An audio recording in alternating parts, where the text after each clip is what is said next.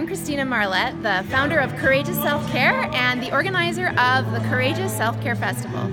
I had Dr. Joanny speak at my festival, and I was absolutely thrilled to have her.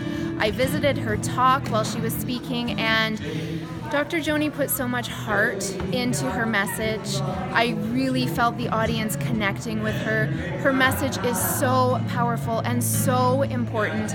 At a self care festival, I wasn't sure if people would want to go hear about concussions, but the room was full. It's a powerful message. As Dr. Joanny says, it affect concussions affect so many people, and people are looking for solutions that work, and she sure delivered that. So I'm really grateful that she was a part of the festival.